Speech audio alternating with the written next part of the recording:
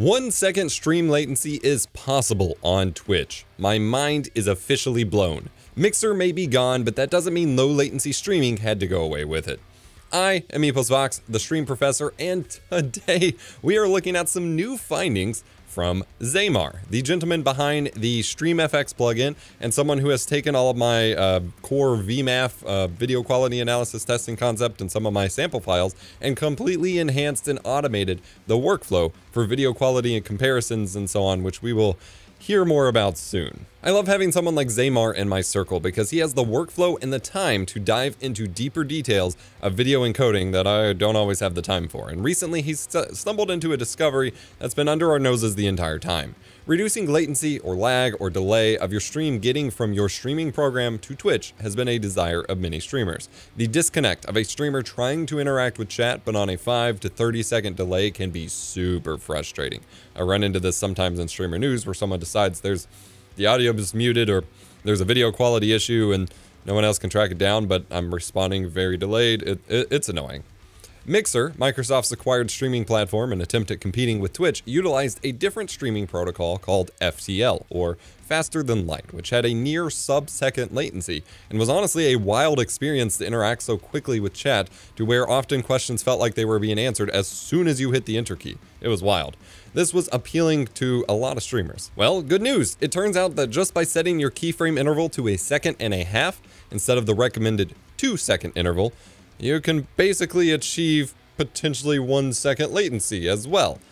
Uh, but it's not perfect. What even is a keyframe interval? I'm glad you asked. No, Ryan, you in the back, I know you didn't specifically ask for this. That, that, that's not the point. You, you know what? Just get, get out of my classroom. Go on. Keyframes in video encoding are actually called iframes, or interframes. That is to say, a single frame in a video that contains the complete image. So if you had a completely raw, uncompressed video feed and took a screenshot from it, like in JPEG or BMP image formats, this contains all of the information for the frame at that exact moment in time. These can help or hurt video encoding algorithms as they serve as a reference point to build the rest of the frames, which typically contain only parts of the data that have changed from that keyframe to the next one. Now, you can record completely iframe based videos in many cameras or even in your video encoding settings, and playing these back or scrubbing through these on a video editing timeline is super smooth because there's no real interpretation to be done of the next frames. It's just an image sequence at that point, which is really easy to play back. The downside is that these are much harder to compress, since they are the entire frame's worth of information rather than only the changes. The more information you have, the harder compression is. These differ from P and B frames, as these are interframes. B frames, which you have a setting for in the NVENC H.264 encoder, save space by using the differences between the current frame and the previous frame to determine its content. Going back to Twitch, specifically the usual recommended setting for keyframe interval for streaming is 2 seconds. That means every other second, or once every 60 frames in a 30 FPS stream, or once every 120 frames in a 60 FPS stream, there would be a keyframe to build the rest of the frames from.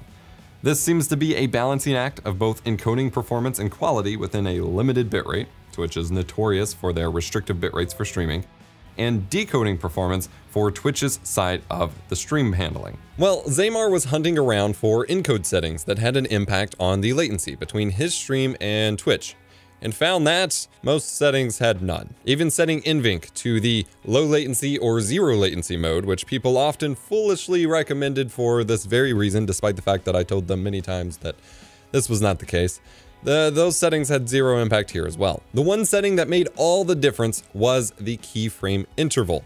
Setting it to 1 was not useful, as the latency was still around 2.4 seconds for some reason, but he tried a fractional latency, something only supported in X264 and his StreamFX plugin's NVENC encoder, and bam, about one second of latency from his PC to Twitch, which combined with the processing delays on his PC from the actual encoding and stream processing and stuff, realistically ended up being closer to two seconds.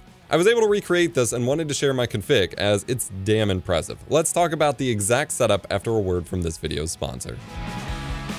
The EVGA XR1 brings quality audio and ease of routing to your game streams, featuring a high quality headphone amp, party chat capture, easy volume mixing right on the card, 4K pass through, and uncompressed 1080p 60 FPS capture. Get your stream started today. fast and easy with the EVGA XR1 capture card. Use affiliate code EPOSVOX at checkout to get up to 10% off at the link below. First and foremost, you do, of course, need to enable low latency in Twitch's dashboard and make sure it's enabled for your video player.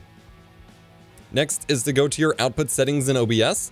This does need to be in advanced mode. Not all streaming programs will let you control this super granularly. We're focusing on OBS Studio here for this reason. Let's cover both NVENC and X264 settings to make this happen. First, if you're using NVENC, you'll need to use the NVENC encoder provided by Xaymar's StreamFX plugin, not the one that ships with OBS Studio. Xaymar's provides way more options, though it can be a little bit overwhelming to dig through. Here are the settings I used and that he recommends for this particular thing. Obviously, adjust the bit rates accordingly for what you usually stream at. The important number here is the keyframes section, setting the interval type to seconds and then setting the interval itself to 1.50 seconds. If you're using X264, you can't actually manually uh, type in a fractional keyframe interval. So you'll need to uh, set it to 1 for 1 second and then go down to the custom X264 options here and type keyint equals 90 for 60 FPS or keyint equals 45 for 30 FPS and then hit apply. Again, this is 1.5 seconds, so it's 1.5 times your frame rate.